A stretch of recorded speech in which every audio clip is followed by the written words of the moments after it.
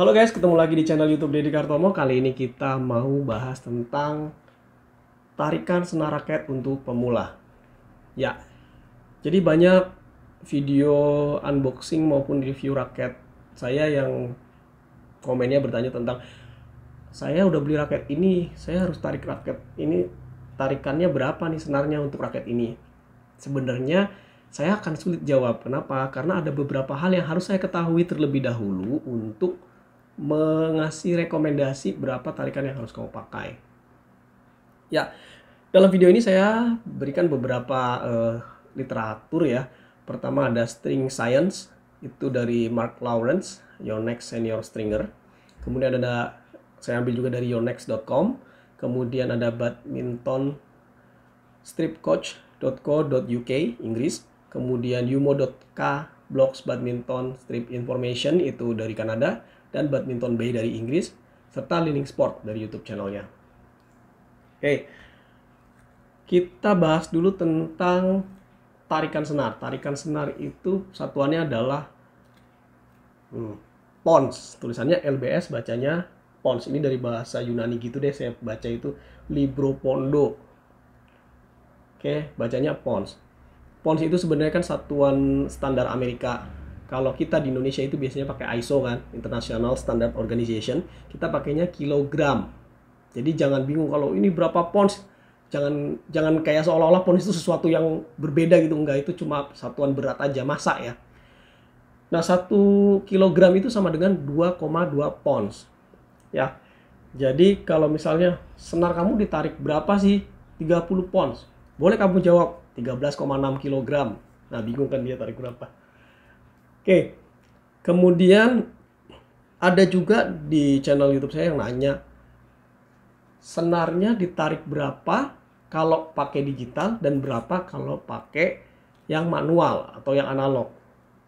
Gini loh, yang namanya alat ukur itu harusnya sama. Contoh, berat badan saya 67 kg.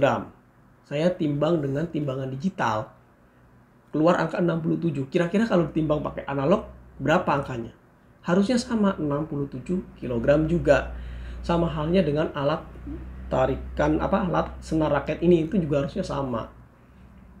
Tapi banyak kasus begini yang jadi masalah. Dia bilang, "Saya tarik di toko A itu yang pakai manual, itu saya ngomong udah 30, tapi rasanya sama kayak saya minta di toko B tarikan 28." Nah, ini kenapa? Biasanya yang manual itu belinya umurnya mungkin udah lima tahun, 10 tahun, 15 tahun itu udah lama. Jadi harusnya sudah dikalibrasi dan masalahnya biasanya toko itu tidak rutin melakukan kalibrasi. Itu yang membuat tidak akurat. Jadi alatnya kalau ngomong 27 pons mesin digital harusnya sama dengan 27 pons mesin yang manual. Yang penting alatnya terkalibrasi dengan baik. Ini adalah tabel tentang string tension. Jadi kalau semakin rendah seperti apa efeknya, kalau semakin tinggi seperti apa efeknya. Nah, kalau string tensionnya semakin rendah, itu sweet spotnya akan lebih tinggi dibanding yang tarikannya lebih tinggi. Sweet spot itu adalah area kontak optimum kok itu kena, itu sweet spot. Nah, kalau kena di sweet spot ini, maka apa ya lebih optimal gitu. Raketnya akan optimal si kok akan meluncur optimal sesuai dengan ekspektasi kita. Tapi kalau kenal yang nggak di sweet spot misalnya di pinggir pinggir ujung atas ini pinggir sini apalagi di frame itu maka hasil pukulannya tidak optimal tidak akurat.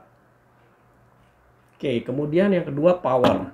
Power saya itu analogikan bahwa ini adalah trampolin ini adalah pinggiran trampolinnya ini karetnya si trampolin.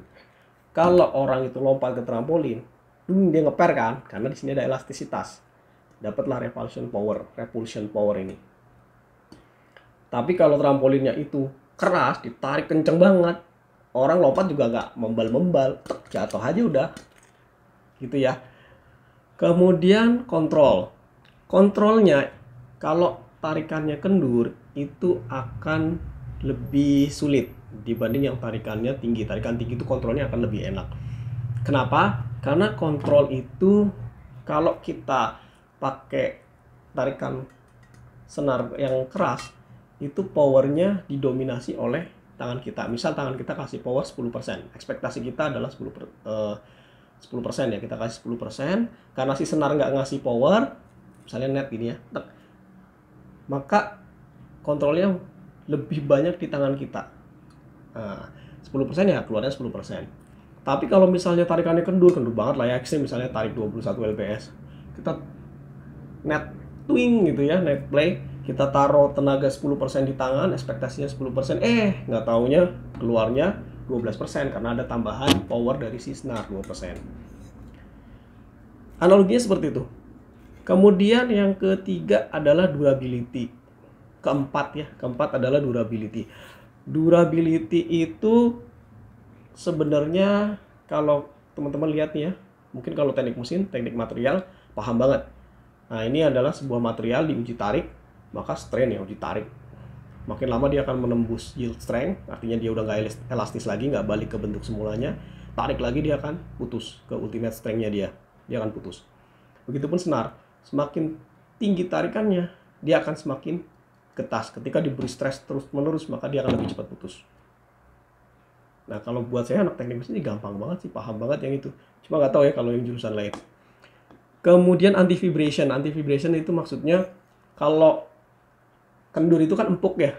Nah, tabrakan dengan benda empuk pasti lebih tidak bergetar dibanding kita tabrakan sama benda keras. That simple ya. Beberapa atlet pro itu justru nyarinya yang keras supaya feelingnya dia lebih terasa. Cuma kalau kita sih lebih enak yang empuk ya. Ya tergantung sih masing-masing orang beda. Kemudian ini adalah string advice saya ambil dari uh, webnya Badminton Coach UK sama yumo.canada. Jadi mereka kebetulan membagi menjadi empat yang sama yaitu beginner, intermediate, advance, dan profesional. Nah itu dia tarikannya. Jadi kalau beginners 19 sampai 21 di badminton coach UK kalau di Yumo Kanada itu 17 sampai 20 itu rendah banget sih. Nah, karena memang di web itu tidak dijelaskan beginners itu siapa siapa yang masuk kategori beginners? Apakah junior, anak kecil, atau seperti apa? Saya nggak tahu. Nah, sehingga saya jelaskan yang versi saya. Jadi kalau versi saya beginners itu tentunya satu sudah dewasa, 17 tahun atau lebih. Kemudian baru belajar main badminton. Mungkin setahun dua tahun lah. Masih tekniknya belum menguasai banget, belum jago jadi belum jadi jagoan kampung, belum jadi jagoan komplek, itu masih beginner.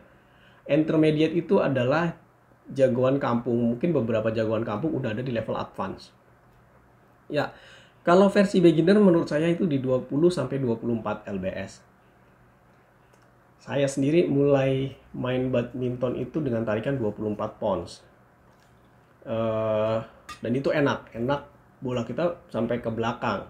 Karena kalau penyakit problemnya pemain baru beginner itu ketika mukul itu nggak sampai baseline belakang cuma setengah ya ngelewatin net dikit ngelewatin net dikit. Nah kalau pakai 24 itu sangat membantu untuk dorong bola ke belakang. Powernya bertambah sesuai tabel yang tadi ya. Kemudian intermediate artinya kita udah naik kelas udah naik level skill kita udah naik itu di 24 sampai 28 pounds. Itu sesuai kebutuhan masing-masing Kemudian kalau untuk advance dan profesional saya tidak akan kasih rekomendasi kenapa? Karena mereka sudah paham betul apa yang mereka butuhkan. Mereka nggak perlu nonton video ini, mereka udah dari kecil main badminton. Apalagi yang dari PB udah tahu banget apa itu raket, apa itu badminton dan sebagainya. Ya, saya pernah melakukan testing terkait senar yang saya pakai itu biasanya BG66 dan BG66 Ultimax antara dua itu ya. Kemudian uh, saya memulai uh, raket saya dengan tarikan 24 lbs waktu itu 24 pounds karena untuk ngejar power. Kemudian saya pernah tarik sampai 30 ceritanya adalah uh, teman saya dia sebenarnya amatir juga sih cuma dia bilang wah raket yang bagus itu yang tarikannya kenceng raket saya itu tarik 30 gitu nah, saya penasaran kan saya beli Voltrix 1 DG Slim uh, Voltrix 1 DG yang bisa 35 lbs saya pasang lah 30 ternyata berat berat banget kan. Kemudian kedua setelah saya pakai juga nggak awet jadi tiga minggu tuh putus. Nah, tiga minggu putus sayang juga kan 110 ribu waktu itu ya bikin 66 100 kah 100 ribu. Lumayan juga tiga minggu 100 ribu. Oke kemudian saya coba ah nggak udah saya coba deh di 27 enak sih 27 cuma punya problem yaitu ininya tuh suka geser-geser apa nih suka harus ngerapihin ini kalau bisa rally-rally harus ngerapihin ya kemudian juga kontrolnya kadang-kadang suka masih agak meleset saya naikin ke 28 dan so far itu adalah yang paling nyaman buat saya sampai saat ini. Saya juga pernah coba di 29. Bukan coba sih, nggak sengaja saya waktu itu nyenarin pas lagi main putus di gor itu ada nyenarin, memang ada yang bisa nyenarin. Saya kasih ke abangnya itu saya lupa ngomong tarikannya. Balik udah dalam kondisi terpasang. Saya tanya tarik berapa ini 29. Oh ya sudahlah ya ternyata cuma sebulan putus lumayan kan 100 ribu satu bulan oke jadi kalau kalian mau tahu berapa sih enaknya tarikan yang pas buat saya? Coba aja eksperimen eksperimen. Nah eksperimennya nggak usah jauh-jauh dari 20 sampai ke 32 ah coba startnya dari antara 26 sampai 28 itu aja dulu. Karena itu yang paling umum menurut saya dipakai di eh, level-level amatir seperti saya ya. Ya ini beberapa referensi senar raket uh, dari Yonex dan Lining. Yonex ada tiga ya, repulsion power, durability dan control. Untuk yang saya beri bintang itu artinya adalah yang menurut saya sangat recommended. Memang harganya agak mahal Seri Repulsion Power saya kasih bintang itu BG66 Ultimax dan Nanogi 98. Saya juga pernah bikin eksperimen antara BG66 dan BG66 Ultimax. Uh, saya kasih linknya deskripsi di bawah. Dari kalau ngomong cost per penggunaan, biaya per penggunaan itu ketemunya sama, cuma BG66 Ultimax kamu lebih dapat repulsion power dan kontrolnya, jadi lebih worth to buy. Kemudian Nanogi 98 itu juga uh, keren banget saya pernah coba di raketnya Kohnaldi Kohnaldi itu Markus Fernaldi Gideon.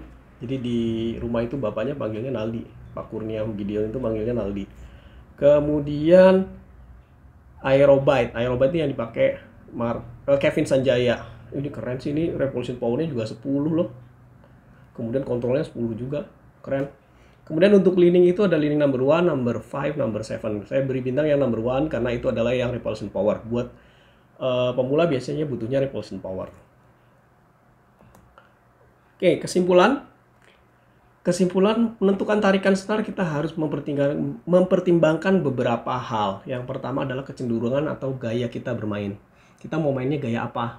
Tukang smash, tukang gebuk, atau yang suka speed, main drive-drive terus, main nyegat-nyegat di depan, atau yang sukanya main tipis-tipis kontrol drop shot kontrol atau yang all round wadah pokoknya semuanya sikat itu harus kita tentukan kita mau yang seperti apa kemudian raket kita nomor dua raket kita raket kita tentunya harus disinkronisasi dengan tadi gaya bermain kita untuk menunjang gaya bermain kita meskipun tidak mutlak tapi lebih baik kalau disinkronkan kemudian yang ketiga ini yang paling menentukan tarikan senar kita yaitu power fisik kita, otot kita itu seberapa kuat. Kalau otot kita kurang kuat, kita pakai tarikan yang rendah dulu deh. Tapi kalau otot kita udah cukup kuat, kita nggak perlu nggak butuh lagi tenaga dari si senar, mending kita pakai tarikan yang lebih tinggi. Kenapa? Karena supaya bisa dapat kontrol, akurasi. Akurasi itu penting banget saat main ketika kamu udah di level intermediate. Oke, terima kasih sudah menonton video kita kali ini. Terima kasih. See you. Dadah.